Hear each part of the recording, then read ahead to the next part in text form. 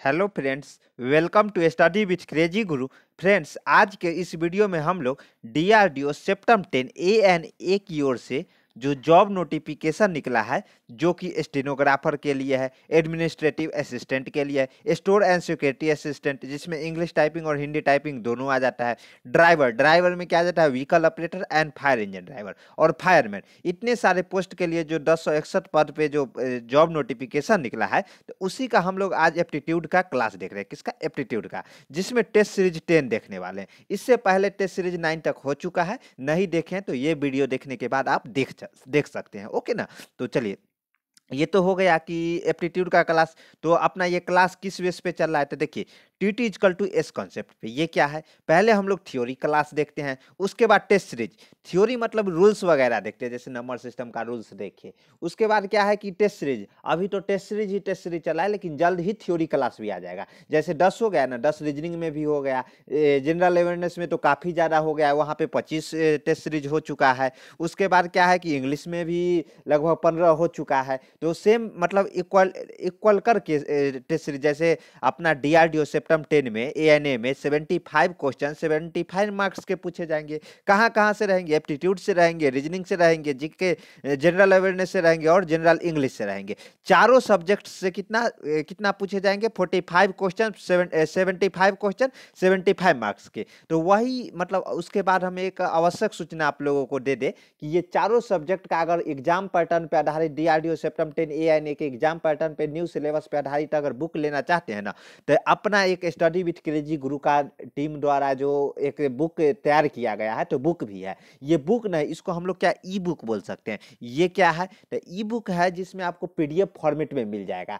आप सभी देश के कोना कोना में पहुंचाना बुक तो अभी संभव है नहीं, क्योंकि एग्ज़ाम आप जल्द ही ले लेगा। जैसे ही रिजेक्शन लिस्ट आएगा, उसके बाद एग्ज़ाम डेट आ जाएगा। तो क्या है कि देश के कोना, और अभी तक देखिए डीआरडीओ की तरफ़ से नहीं आया तो मैं कैसे बोल सकता हूँ? डीआरडीओ की तरफ़ से पहले रिजेक्शन लिस्ट आएगा, तब एग्ज़ाम डेट आएगा, तब हम आपको बताएँगे जहाँ ये एग्ज़ाम डेट इस तारीख को आया। उसके वेबसाइट पर जाके देखते रहिए, हम भविष्यवाणी नहीं ना कर सकते हैं। तो चलिए, अगर ई बुक चाहिए तो आपको ये नंबर दिया गया है। इस नंबर पे आपको पेमेंट करना है तो ई बुक का पेमेंट भी लगेगा क्या? हाँ। देखिए, चारों subject aptitude reasoning general awareness और जनरल इंग्लिश चारों सब्जेक्ट का जो है मात्र आपको सत्तर रुपया में लिया ई बुक दिया जा रहा है। अब सत्तर रुपया क्यों, इतना कम अमाउंट क्यों है? देखिए बुक का प्राइस ज़ीरो है, सत्तर रुपया मेंटेनेंस चार्ज लिया जा रहा है। जो आप, जो हमारा टीम है, वो भेज रहा है, जो भी मतलब उसमें खर्च आ रहा है, उसका चार्ज लिया जा रहा है। उसके बाद क्या है कि मान लीजिए आपका ई बुक कभी डिलीट हो गया, आपसे कोई टेक्निकल इरर के कारण तो फिर दोबारा पेमेंट नहीं करना है। यही सत्तर रुपया का पेमेंट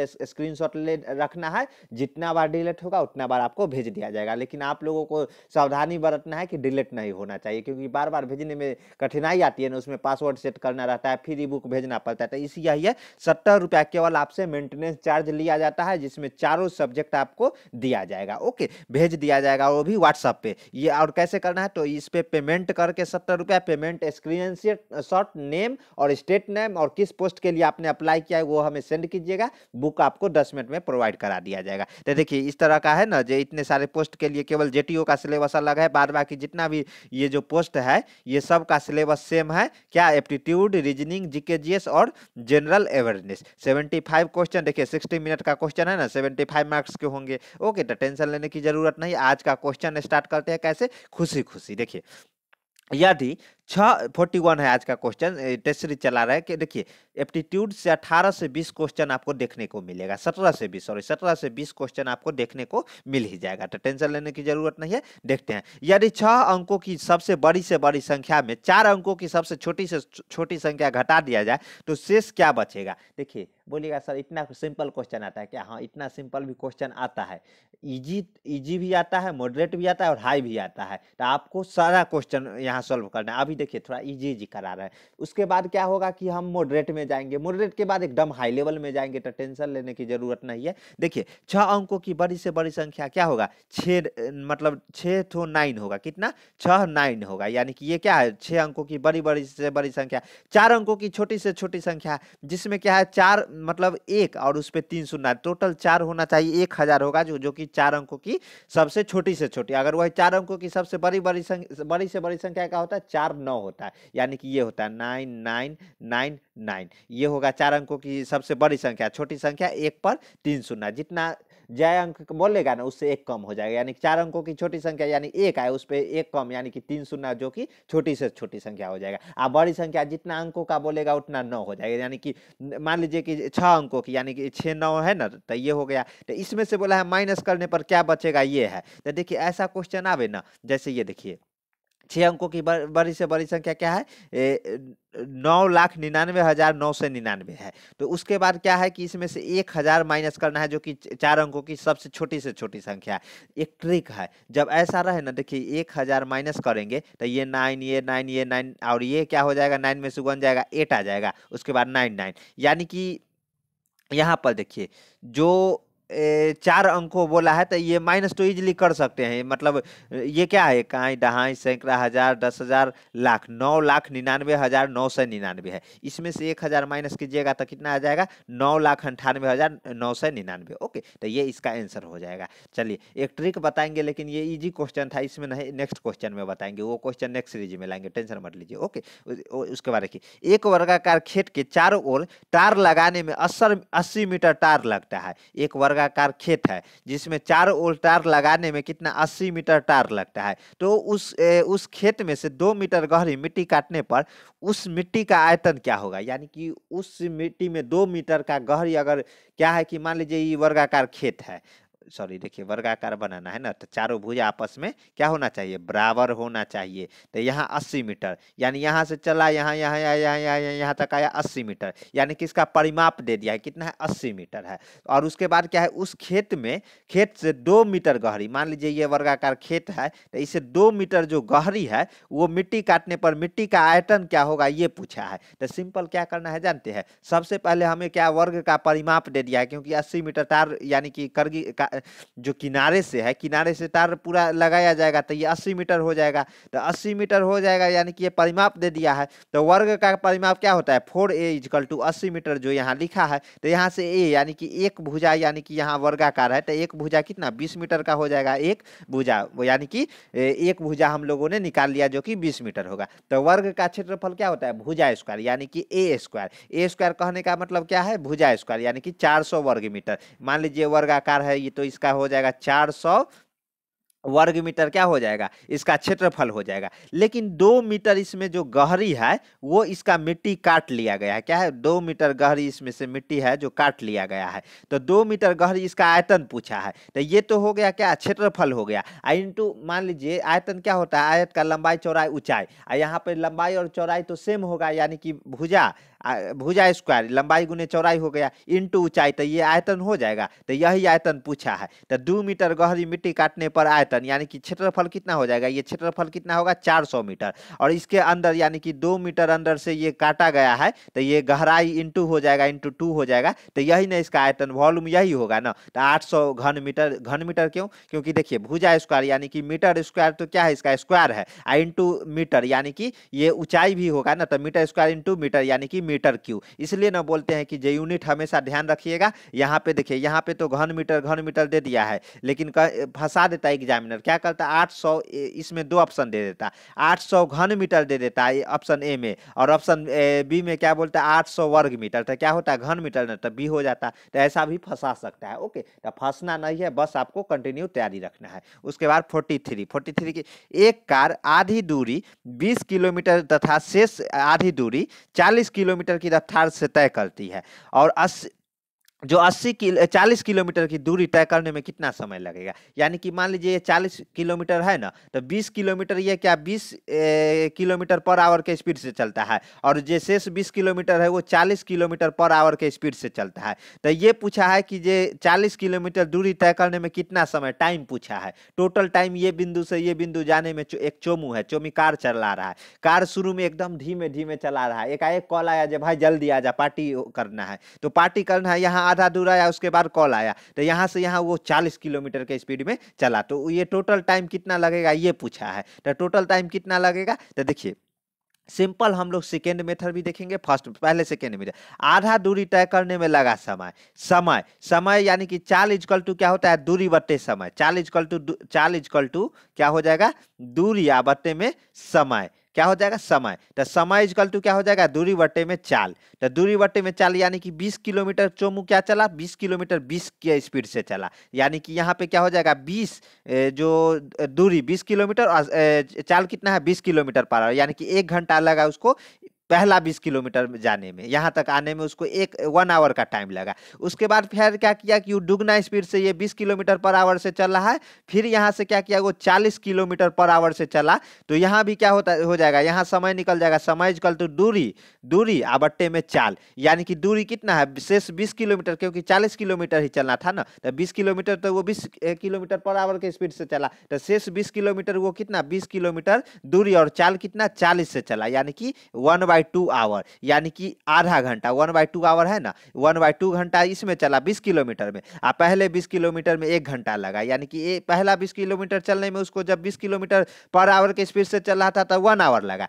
अगला बीस किलोमीटर चलने में कितना लगा? एक बटे टू आवर यानी कि आधा घंटा लगा। यानी टोटल कितना? चालीस किलोमीटर को तय किया। यानी कि डेढ़ घंटा वन वन ये देखिए वन और टोटल यानी कि कुल समय दोनों ऐड हो जाएगा ना तो one plus one by two यानी कि एक पूर्णांक एक बटे दो, डेढ़ घंटा टोटल उसको समय लगा, जो कि ऑप्शन कहाँ है? डी में है। कहाँ है? डी में है। डी इसका सही उत्तर हो जाएगा। सेम इस तरह भी आप लोग देख सकते हैं, यहाँ पे क्या किया है कि ये थोड़ा लॉन्ग औसत चालीस कल तो दूरी बटे समय। दूरी बटे यानी दूरी तो एस है। एस मान लीजिए कितना है, एस चालीस किलोमीटर उसको टोटल चलना है। लेकिन एस अभी यहाँ चालीस क्यों नहीं लिखे बता रहे हैं। उसके बाद कुल समय समय यानी कि पहला बीस किलोमीटर में समय कितना लगा? समय इजकल टू दूरी बटे चाल तो दूरी यानी कि बी, इधर दूरी यानी कि चालीस एस का आधा हाफ़ ही चला ना तो एस बटे टू आ बट्टे में कितना? ट्वेंटी। तो इसी को ना लिख दिया, एस इंटू टू गुने ट्वेंटी। शॉर्ट फॉर्म में यहाँ पे लिख दिया है ना, समझे? जैसे देखिए हाफ़ किलोमीटर चलने में उसको कितना? बीस किलो किलोमीटर चलने में इसको कितना बीस किलोमीटर पर आवर के स्पीड से चला। यानी कि एस यहाँ पे क्या हो जाएगा? चालीस बटे टू ये हो जाएगा डिवाइडेड बाय कितना, चाल क्या है? तो बीस है। तो यही एस हम लोग चालीस नहीं लिख के एस मानते हैं। तो एस बाई टू यानी कि इसको लिख सकते हैं। S divided by twenty into two यही यहाँ पे लिख दिया है। फिर अगला एस यानी कि हाफ़ एस यानी कि ये टोटल एस है चालीस किलोमीटर है। तो अगला एस बाई टू चलने में कितना? चालीस किलो मतलब चालीस किलोमीटर पर आवर के स्पीड से चल रहा है। एस बटे टू जो कि डिस्टेंस हो गया और डिवाइडेड बाई चाल यानी कि इसको हम लोग लिख लिख सकते हैं S into two into forty तो ये हो गया S into two by forty तो ये दोनों से एस कॉमन निकल जाएगा तो एस से एस कैंसिल हो गया। तो यहाँ से हम लोग ये इजिली किलोमीटर पर आवर औसत चाल निकाल सकते हैं। लेकिन हम लोगों को क्या पूछा है? समय पूछा है। तो समय इजकल टू क्या होता है? समय इजकल टू क्या? दूरी बटे चाल। तो दूरी, समय क्या है? यहाँ पे तो हम लोग चाल निकले हैं। समय इजकल टू क्या होता है? समय इजकल टू होता है दूरी बट्टे में चाल। चाल चाल तो चाल हम लोग निकाल चुके अस्सी बटे तीन होगा, दूरी कितना है? चालीस टोटल है और अस्सी बटे तीन तो यही यहाँ पे लिखा है जो कि एक एक पूर्णांक एक बटे दो घंटा, यानी कि इतना लगेगा। सेकेंड मेथड सबसे अच्छा है, इस पर भी आप कर सकते हो। चलिए अगला क्वेश्चन देखते हैं, क्या है? ए और बी मासिक ए और बी की मासिक आय है कितना? पाँच अनुपात छः के अनुपात में अनुपात में दिया है, अनुपात सम अनुपात है। तो देखिए ए और बी की मासिक आय कितना है? पाँच अनुपात छः में है, तथा उनके मासिक व्यय कितना है? अनुपात इसका मासिक आय कितना, आय इतना है, व्यय खर्च है जो कितना है, तीन अनुपात चार है। कितना? तीन अनुपात चार है। मान लीजिए वो इतना कमा रहा है, मान ले, मान लीजिए कि पाँच अनुपात के, पाँच पाँच अनुपात छः के अनुपात में ए और बी कमा रहा है, लेकिन उनका जो खर्च है, तीन अनुपात चार है। ओके तो यदि वे प्रति मास क्रम से अठारह सौ और सोलह बचत करते हैं तो बी की मासिक आय ज्ञात करें। बी की मासिक आय ये बहुत क्वेश्चन बना चुके हैं। फिर भी देखते हैं, देखिए, मेथड वन, टू से जाइएगा तो तेल निकल जाएगा। मेथड वन देखते हैं। माना कि ए और बी की आय है क्रमशः फाइव एक्स और सिक्स एक्स हम लोग शुरू से ही मानते आ रहे हैं जो अगर अनुपात हटेगा तो एक्स से मल्टीप्लाई हो जाएगा दोनों तब ए का कितना फाइव एक्स और बी का कितना सिक्स एक्स हो जाएगा। उसके बाद इसको व्यय भी कर लेते हैं। क्या है? ए, ए, जो व्यय है उसको हम लोग वाई मान लेते हैं। तो थ्री अनुपात फोर है यानी कि three Y into four Y हो जाएगा। और उसके बाद ये बोला है कि ये जो ये दोनों है प्रति मास क्रमशः अठारह सौ और सोलह सौ बचाते हैं। जब मान लीजिए फाइव एक्स कमा रहा है और थ्री एक्स वो खर्च कर रहा है, व्यय कर रहा है तो क्या हो जाएगा? वो टोटल कितना? अठारह सौ बचा लेता है तो अठारह सौ वो बचा लेता है। ये हो जाएगा तो इक्वेशन वन हो जाएगा जो यहाँ पे देखिए फाइव एक्स वो कमा रहा है और थ्री वाई वो क्या कर, व्यय कर रहा है। तो three five X minus three Y is equal to अठारह सौ। अठारह सौ कहाँ से आएगा? क्योंकि यहाँ पे दे दिया है कि वो प्रति मास क्रम से अठारह सौ ए और बी है जो कितना? सोलह सौ बचत करता है। तो ये दोनों में से कमाई और खर्च दोनों अगर माइनस करेंगे तो जो बचत होगा वही हो जाएगा ना। तो सेम उसी तरह यहाँ भी six X minus four Y is equal to सोलह सौ। यहाँ पे दो कॉमन लेंगे तो three X minus two Y is equal to आठ सौ इक्वेशन वन और इक्वेशन टू ये इक्वेशन वन और टू को प्रतिस्थापन विधि से एक्स और वाई का मान हम लोग निकाल लेंगे। ये कैलकुलेशन का पार्ट है, आपको करना है। टेंथ क्लास में आप बहुत पढ़ रहे हैं अच्छा मार्क्स लाए हैं, हम मतलब जानते हैं तो आपको क्या करना है? ये कैलकुलेशन करना है। ओके एक्स और वाई का मान यहाँ से निकाल लीजिएगा। उसके बाद वी का व्यय वी का व्यय क्या पूछा है? बी का आय पूछा है आय यानी कि आय यहाँ ए और बी का आय यानी कि सिक्स एक्स हो जाएगा ना बी का। अगर वह व्यय पूछता तो फोर एक्स फोर वाई हो जाता लेकिन सिक्स एक्स यानी कि एक्स हम लोग बारह सौ है तो six into X six into twelve बारह सौ यानी six hundred six into twelve hundred यानी कि सेवन सेवेंटी टू हंड्रेड हो जाएगा ओके। बहत्तर सौ रुपया उसकी क्या है? इनकम है जो ए, ए बी की आय है वो कितना है? बहत्तर सौ है। तो इस तरह आप बना सकते हैं इजी क्वेश्चन है। चलिए अगला क्वेश्चन देखते हैं क्या है? यदि 12 आदमी प्रतिदिन 9 घंटे काम करके चौबीस सौ रुपये कमाते हैं और आठ आदमी जो आठ आदमी है, आठ घंटे काम करके सात दिन में कितने अर्जित करेंगे? यानी कि 12 आदमी एक दिन का बोला है, प्रतिदिन नौ घंटे काम करके चौबीस सौ रुपया कमा रहे थे आठ आदमी आठ घंटे प्रतिदिन काम करके उनका सात दिन का क्या काम है? यहाँ एक दिन का पूछा है, यहाँ सात दिन का पूछा है। तो ऐसा क्वेश्चन आए ना तो सिंपल क्या करना है? सबसे पहले एक आदमी एक घंटे जो काम करता है एक दिन में, वो हम लोग निकाल लेंगे। तो देखिए, बारह आदमी नौ घंटे एक दिन में चौबीस सौ रुपया कमाते हैं। तो इसी को हम लोग एक आदमी एक घंटे काम करने के लिए एक दिन में कितना? ये चौबीस सौ divided by twelve into nine हो जाएगा। ये रुपया रुपया कमाते हैं। ये हो जाएगा, एक आदमी एक एक दिन का है, एक घंटे काम करके मतलब एक दिन में ये करता है। तो अब क्या है? यहाँ पे देखिए, नौ आदमी आठ घंटे में सात दिन में कितना काम करेगा? ये एक है ना, ये भी एक यहाँ पे मल्टीप्लाई इंटू वन हो गया है। अगर यहाँ दो रहता तो इंटू टू हो जाता। ओके तो ये ट्वेल्व इंटू नाइन क्या हो जाएगा? ये आदमी है और ये घंटा है, जो आवर है, इतना घंटा काम करता है। तो सेम यहाँ पे क्या हो जाएगा, एक दिन का ये है। तो सात दिन का कितना हो जाएगा? Seven into twelve twenty four hundred divided by twelve into nine uh into क्या हो जाएगा? नौ आदमी नौ आठ घंटे तो नौ इंटू एट हो जाएगा। ओके आ इंटू सेवन सेवन ये तो है ही। सेवन तो ये हो जाएगा इसको कैलकुलेट कीजिएगा तो कितना आ जाएगा? ए, जो ग्यारह हज़ार दो सौ रुपया ओके। लेकिन सेकेंड मेथड सबसे बेस्ट मेथड है मेथड है जो है ना एम जो मैन हो जाएगा डे हो जाएगा उसके बाद वर्क हो जाएगा डिवाइडेड बाई अमाउंट इतना रुपया कमाता है। देखिए कितना बारह आदमी बारह आदमी नौ घंटे काम करके तब बारह आदमी मैन वर्क हो गया टाइम कितना हो जाएगा? नौ हो जाएगा इंटू डे कितना वन डे हो जाएगा और कितना काम रुपया कितना कमाता है? Divided by twenty four hundred. इतना कमा रहा है। उस, उसके बाद क्या है कि यही पूछा है कि जो अगला है, जो कितना है? जो सात आठ, नौ आदमी आठ घंटे काम करके सात दिन में। यानी कि यहाँ पे देखिए, जो नौ आदमी है, नौ आदमी, मैन वर्क कितना? नौ हो जाएगा। आठ घंटे। तो ये टाइम हो जाएगा इनटू डे कितना है? सेवन डे है। और ये डिवाइडेड बाय एक्स पूछा है। इजकल टू ये कितना है? ट्वेल्व इंटू नाइन है इंटू वन वन डे यहाँ पे नहीं दिया है, लेकिन हम बता रहे हैं। इंटू चौबीस सौ कमा रहा है। तो यहाँ से आप लोग इजीली एक्स का वैल्यू निकाल सकते हैं। तो एक्स का ये कैलकुलेशन का पार्ट है एक्स का वैल्यू निकालिएगा ना तो ये कितना? ग्यारह हज़ार दो सौ रुपया ये हो जाएगा। ये सेकेंड मेथड सबसे बेस्ट है, इस मेथड पे भी आप बना सकते हैं। फोर्टी सिक्स क्या है? एक परीक्षा में बैठने वाले उम्मीदवार में से 25 परसेंट योग्यता प्राप्त नहीं कर सके। एक मान लीजिए कोई परीक्षा है तो कोई परीक्षा में 100 लोग बैठा, जिसमें से 25 है, जो कि ये योग्यता प्राप्त नहीं कर सके। नहीं कर सके। और योग्यता प्राप्त करने वाली कुल संख्या 450 है। 25 परसेंट मान लीजिए इसमें क्या है जो योग्यता प्राप्त नहीं कर सके। लेकिन जो लोग 75 परसेंट योग्यता प्राप्त किए हैं ना, उसकी संख्या कितना है? 450 है। तो परीक्षा में बैठने वाले उम्मीदवार की संख्या यानी कि टोटल उम्मीदवार पूछा है। तो समझिए, एकदम सिंपल ये क्वेश्चन है। क्वेश्चन समझ गए ना? एक परीक्षा है जिसमें हंड्रेड परसेंट उपस्थिति है, जिसमें से पच्चीस परसेंट है जो कि योग्यता प्राप्त नहीं कर सकते हैं। पच्चीस बीस परसेंट, ट्वेंटी नहीं, पच्चीस परसेंट। लेकिन पचहत्तर परसेंट है ना, उसकी संख्या दे दिया है, जो योग्यता प्राप्त करते हैं, वो चार सौ पचास है। और हमसे पूछा है, टोटल हंड्रेड परसेंट विद्यार्थी स्टूडेंट कितना होगा? ये पूछा है। तो सिंपल जब इस तरह के क्वेश्चन आए ना तो हम लोग सेकेंड मेथड प्रेफर करेंगे जो seventy five percent is equal to कितना? चार सौ पचास क्वेश्चन में दे दिया है। तो हंड्रेड परसेंट इजकल टू कितना हो जाएगा?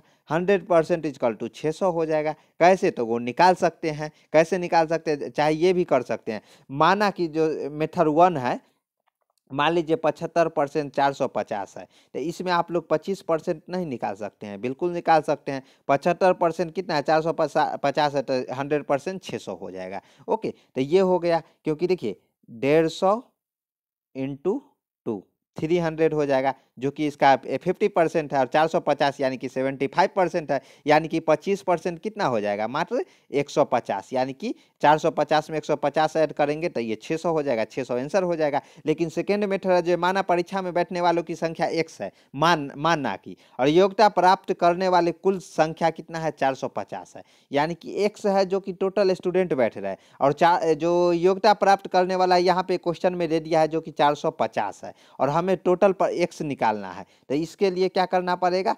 जो एक्स है टोटल है आ हमें ये भी बताया है, पच्चीस परसेंट है, जो कि योग्यता प्राप्त नहीं कर पाते हैं। तो एक्स का ट्वेंटी फाइव परसेंट है, जो कि ट्वेंटी फाइव परसेंट हटाएँगे तो पच्चीस बटे हंड्रेड यही लिखा है इजकल टू चार सौ पचास, ये हमें दे दिया है। तो यहाँ से हम लोग सिंपली मतलब कैलकुलेट करके एक्स का मान निकाल सकते हैं। तो एक्स का मान निकालेंगे, वही ना टोटल स्टूडेंट हो जाएगा, जो कि हम पहले ही मान चुके थे कि एक्स में परीक्षा बैठने वालों की संख्या एक्स है, ओके। तो ये ऐसे मतलब ये क्वेश्चन में दे दिया है टोटल एक्स है। आ एक्स में से पच्चीस परसेंट अगर हम माइन एक्स का पच्चीस परसेंट अगर हम माइनस करते हैं तो ये चार सौ पचास हो जाएगा, जो कि स्टूडेंट दे दिया है जो इतना स्टूडेंट है जो कि उत्तीर्ण हुए हैं। परीक्षा में ये देखिए, यहाँ पे बोला गया है ना, जो उम्मीदवार कुल केवल संख्या, जो योग्यता प्राप्त करने वाले की संख्या चार सौ पचास है। ओके तो यहाँ से इजीली हम लोग एक्स का मान भी निकाल सकते हैं, या ऐसे भी सिंपल ट्रिक मतलब मेमोरी बेस पे भी हम लोग बना सकते हैं। चलिए, अगला क्वेश्चन देखते हैं क्या है। देखिए फोर्टी सेवन फोर्टी सेवन क्या है?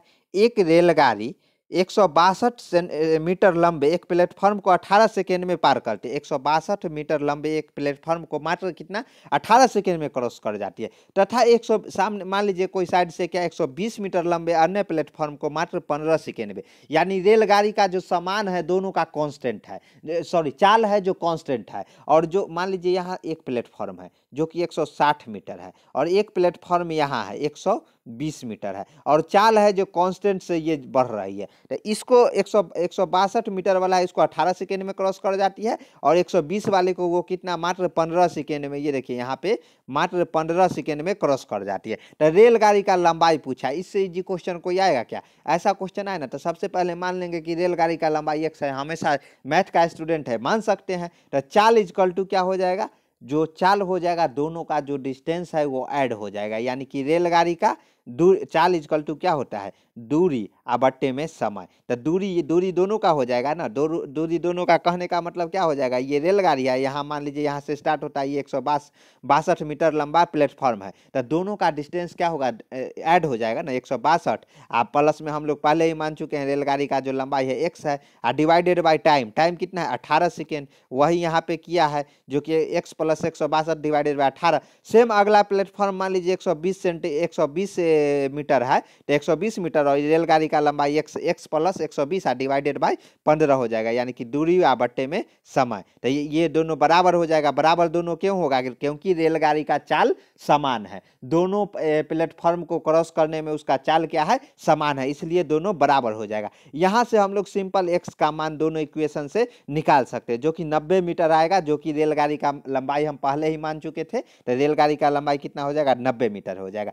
आप लोग यही ट्रिक पे अपना अपना ये क्या है दीजिएगा क्वेश्चन सॉल्व कीजिएगा। ये ट्रिक है, लेकिन ये ट्रिक आप भूल जाइएगा, इसलिए ये ट्रिक नहीं, ये ट्रिक वेस्ट है। थोड़ा टाइम लगेगा दस बीस सेकेंड सही प्रैक्टिस कीजिएगा तो ज़्यादा टाइम नहीं लगेगा, और यही ट्रिक वेस्ट है ओके और ये दोनों का जो ये है, चाल है, इस, क्योंकि देखिए ट्रे प्लेटफॉर्म वन से निकालते हैं, चाल इजकल टू दूरी बटे समय। तो दूरी यानी कि एक सौ प्लस एक सौ बासठ, प्लेटफॉर्म का ट्रेन का लंबाई और प्लेटफॉर्म का लंबाई दोनों जुट जाएगा ना। समय कितना? अठारह सेकेंड में ये हो जाएगा। आ चाल इजकल टू ट्रेन का चाल तो ट्रेन का जो चाल है, दोनों का सेम है ना?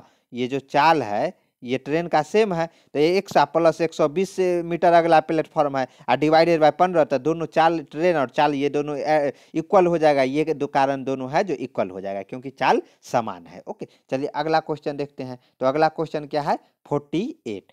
किसी विद्यालय में 40 परसेंट विद्यार्थी फुटबॉल 50 परसेंट विद्यार्थी क्रिकेट खेलते हैं 18 परसेंट विद्यार्थी न तो फुटबॉल खेलते हैं और ना ही क्रिकेट खेलते हैं। तो कितने प्रतिशत विद्यार्थी है जो दोनों खेल खेलते हैं? तो मान लीजिए ऐसा क्वेश्चन आए ना तो सिंपल आपको क्या करना है जानते हैं?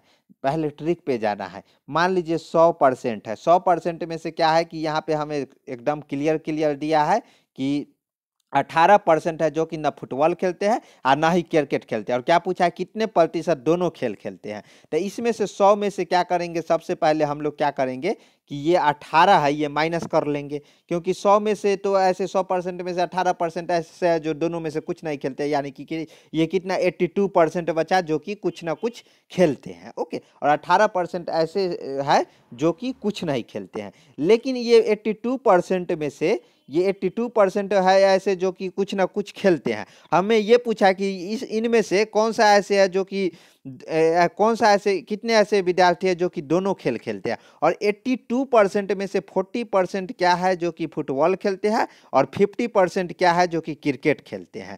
तो ये दोनों का ऐड करने पर कितना हो जाएगा? दोनों पे फिफ्टी प्लस फोर्टी यानी कि 90 परसेंट हो गया।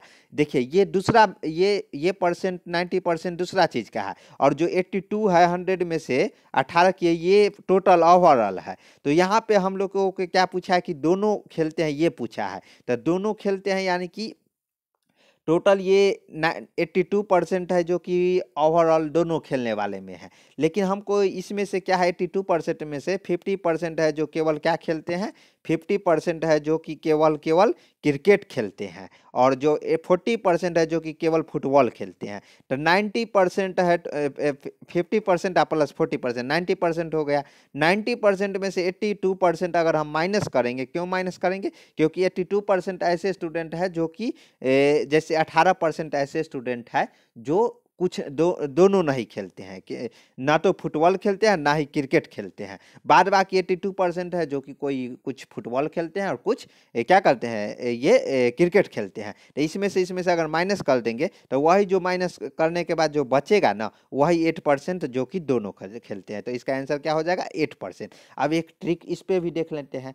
मान लीजिए कि एक्स प्रतिशत क्या है? दोनों खेलने वाले की संख्या है। तो एक्स परसेंट दोनों है तो यहाँ पे क्रिकेट ये ऐसे बॉक्स बना लेंगे जो कि हंड्रेड है। हंड्रेड में से क्या है? जो पचास है जो कि क्या है? क्रिकेट खेलते हैं पचास परसेंट। और सबसे पहले अठारह परसेंट ऐसे है जो कि कुछ नहीं खेलते जो सबसे बाहर दिख रहा है ना यहाँ पे अठारह परसेंट जो कि कुछ नहीं करते। पचास परसेंट है जो कि क्रिकेट खेलते हैं और ए, क्या है? जो चालीस परसेंट है जो कि क्या फुटबॉल खेलते हैं। लेकिन हमको क्या एक विद्यार्थी जो दोनों खेल खेलते हैं तो दोनों कॉमन आएगा, दोनों कॉमन आएगा तो उसमें से क्या करेंगे? Forty minus X plus X कर लेंगे, क्योंकि ये दोनों ऐड हो रहा है, दोनों में कॉमन है ये तो प्लस एक्स कर लेंगे आप प्लस, उसके बाद क्या है, फिफ्टी माइनस एक्स, ये फिफ्टी माइनस एक्स हो गया आप प्लस एट्टीन एट्टीन प्लस क्यों, तब तो हंड्रेड के बराबर होगा, क्योंकि हमें ये टोटल है, ओवरऑल है, जो हंड्रेड के बराबर इक्वल करना है ना तो इस तरह हम लोग एक्स का मान निकाल सकते हैं, जो कि कितना, आठ परसेंट आएगा, इस तरह भी हम लोग निकाल सकते हैं। चलिए अगला क्वेश्चन देखते हैं, क्या है? यदि ए की ऊंचाई बी के ऊंचाई से 10 परसेंट अधिक है। ए की ऊंचाई बी के ऊंचाई से 10 परसेंट है। बी के ऊंचाई ए की ऊंचाई से कितने प्रतिशत कम है? सिंपल क्वेश्चन है एकदम। जैसे देखिए, ए के ऊंचाई बी के ऊंचाई से 10 परसेंट अधिक है तो बी के ऊंचाई, ए के ऊंचाई से कितने परसेंट, ये मत बोल दीजिएगा 10 परसेंट। कोई कोई ये बोल देगा जे सर, ए की ऊंचाई बी के ऊंचाई से 10 परसेंट अधिक है तो बी के ऊंचाई, ए की ऊंचाई से 10 परसेंट कम होगा ना? नहीं, ऐसा नहीं होगा, प्रतिशत है। यहाँ पे ये नहीं बोला है कि जे इसके पास चार रुपया है, दो रुपया दे देंगे तो दो रुपया, ऐसा ईजी क्वेश्चन नहीं है। ये दस परसेंट एकदम गलत होगा। कैसे गलत होगा? तो वो हम लोग देखते हैं। देखिए, जब ऐसा प्रतिशत बोले ना तो यहाँ पे ये फार्मूला आएगा, ये फार्मूला हम लोग थ्योरी क्लास में देखेंगे। जब आर क्या रहे आर दिया रहे तो हंड्रेड इंटू आर आर कहाँ, आर क्या है? दस, यानी कि दस परसेंट यहाँ पे क्या बोला गया है? दस परसेंट अधिक है। तो बी के ऊंचाई, ए के ऊंचाई से कितने प्रतिशत कम है? ज़रूरी नहीं है जब बराबर होना चाहिए। Hundred into R divided by hundred plus R हो जाएगा। तो ये हो जाएगा एक हज़ार डिवाइडेड बाई एक सौ दस। यानी कि ये नौ पूर्णांक एक बट्टे ग्यारह, इसका क्या हो जाएगा? सही हो जाएगा। या सेकेंड मेथड से हम लोग ये कर सकते हैं कि मान लीजिए ए का क्या एक सौ दस है, क्योंकि दस परसेंट इसका अधिक है, जो ऊंचाई है यहाँ पे देखिए, ऊंचाई दस परसेंट अधिक है तो बी की ऊंचाई, ए की ऊंचाई से कितना हो जाएगा? आ ये एक सौ है तो दोनों का जो गैप है वो कितना? दस हो जाएगा तो अभिष्ट परसेंट यानी कि जो आएगा गैप, जो दोनों के अभिष्ट प्रतिशत यानी कि एक सौ दस में से एक सौ जाएगा तो वो दस बचेगा आ डिवाइडेड बाई एक सौ दस, जो कि पहलुका का है मतलब एक सौ दस पहले वाला का होगा इंटू करेंगे तो वही अपना आंसर हो जाएगा, नौ पूर्णांक एक बट्टे ग्यारह परसेंट। ओके, चलिए अगला क्वेश्चन देखते हैं, क्या है फिफ्टी फिफ्टी नंबर क्वेश्चन क्या है? वार्षिक रूप से संयोजित चक्रवृद्धि ब्याज की किसी दर में कोई चार वर्ष में दोगुनी हो जाती है। मान लीजिए कोई दर है, जो कि पी है तो पी है जो चार वर्ष में टू पी हो जाता है। कितना टू पी हो जाता है? और तो ये पूछ रहा है, उसी दर से वह स्वयं को आठ गुनी कितने समय में कर लेगा? आठ गुनी, यानी कि एट पी वो कितने समय में? मान लीजिए कि एक कोई पी है, ये चार वर्ष में क्या हो जाता है? चार वर्ष में टू पी हो जाता है, फोर वर्ड्स में ये टू पी हो जाता है। तो यही पी को अगर मान लीजिए ये पी है, इसको पी, क्वेश्चन पूछा उसी दर को, वह उसी दर से स्वयं को आठ गुनी करने में, यानी कि इसको एट पी करने में कितना टाइम लग जाएगा? यानी कि पी को चार वर्ष लग जाता है कितना? टू पी होने में। तो यहाँ एट पी है, यानी दो चार दो का क्यू हो जाएगा। यानी कि तीन मरतबे, यानी कि चार गुने तीन, यानी कि बारह वर्ष लग जाएगा। समझे कि नहीं समझे कुछ ही? जैसे देखिए पी को पूरा होने में चार वर्ष लग जाता है कितना? टू पी होने में। तो फिर अगला चार वर्ष अगर देंगे तो ये कितना हो जाएगा? फोर पी हो जाएगा। फिर क्या होगा कि मान लीजिए स्क्वायर टू इंटू टू हो जाता है ना? फिर टू मल्टीप्लाई हो जाएगा, यानी कि टू का क्यू यानी कि एट हो जाएगा। ओके और कितना? तीन, यानी कि चार वर्ष चार वर्ष और चार वर्ष। चार चार चार। कितना हो जाएगा? बारह वर्ष टोटल लग जाएगा। कितना बारह जो कि बी होगा इसका आंसर करेक्ट क्या होगा? बी होगा। देखिए पी को पूरा होने में टू पी होने में दो वर्ष लग जाता है। तो सेम पी को एट पी होने में चार यानी कि चार चार वर्ष में दुगना होता है। और वही क्या है? दुगना क्या हो जाएगा? अगला चार वर्ष में यानी कि आठ वर्ष में कितना हो जाएगा? फोर इंटू फोर यानी कि फो ए, कितना हो जाएगा? Two sorry two into two four P हो जाएगा। फिर अगला मतलब चार वर्ष में इंटू टू पी हो जाएगा। यानी इंटू यानी कि चार दूना आठ पी हो जाएगा। ओके तो एट पी टू का क्यू हो जाएगा। और टोटल कितना? चार टिया बारह बारह वर्ष लगेगा। ओके, ऐसे भी कर सकते हैं, क्योंकि देखिए, दुगना होने में कितना लगता है? दुगना होने में चार वर्ष लगता है तो इसको आठ गुना होने में दो का क्यू, एट हो गया। यानी कि ये क्यू आ गया फोर से चार इंटू थ्री यानी कि ट्वेल्व वर्ड्स ये हम लोग ट्रिक से भी कर सकते हैं बी हो जाएगा, इसका सही उत्तर हो जाएगा। तो चलिए, आज का सीरीज़ का क्वेश्चन था मतलब दस क्वेश्चन कराते हैं। एकदम इसी तरह मतलब झमाझम तरीके से क्वेश्चन आएगा, जब तक एग्ज़ाम नहीं हो जाएगा तब तक आपको बस टेंशन नहीं लेना है ई बुक लेना है तो इस नंबर पर आपको पेमेंट करना है कितना? सेवेंटी रुपीज़ मात्र। अभी देखिए हंड्रेड रुपीज़ है, अभी ये थर्टी परसेंट डिस्काउंट चल रहा है, तब सेवेंटी रुपीज़ है। उसके बाद फिर इसको क्या कर दिया जाएगा? फिर आप इसको आपको हंड्रेड रुपीज़ कर दिया जाएगा। अगर नहीं लिए हैं तो ले सकते हैं। और बुक है जो अपने पास इंग्लिश मीडियम में भी है और हिंदी मीडियम में। इस पर पे पेमेंट करना है पेमेंट स्क्रीनशॉट लेके इसी नंबर पे व्हाट्सअप करना है। उसके बाद हम ई बुक पी आपको प्रोवाइड करा देंगे। पीडीएफ में आपका mobile number date of birth जो भी आप चाहोगे, वो पासवर्ड रहेगा। ओके तो चलिए अगर हमारे चैनल पर नए हैं तो क्या करना है? चैनल को सब्सक्राइब कर लेना है। वीडियो को अपने दोस्तों के बीच भी शेयर करना है। मिलते हैं नेक्स्ट वीडियो में। जय हिंद, जय भारत।